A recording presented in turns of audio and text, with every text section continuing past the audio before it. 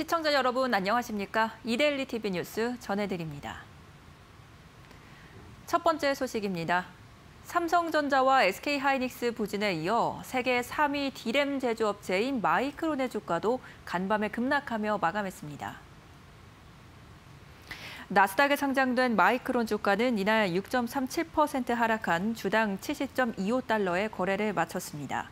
삼성전자와 SK하이닉스의 주가가 연중 최저점까지 내린 가운데 마이크론 역시 그 파고를 피하지 못한 것으로 풀이됩니다.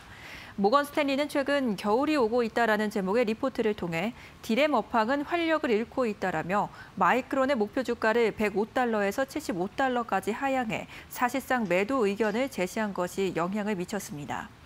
이날 웨스턴 디지털 주가는 6.5%, 램 리서치가 4.11% 하락하는 등 반도체 관련주들이 일제히 하락하며 반도체 업황에 대한 우려감이 커지고 있습니다.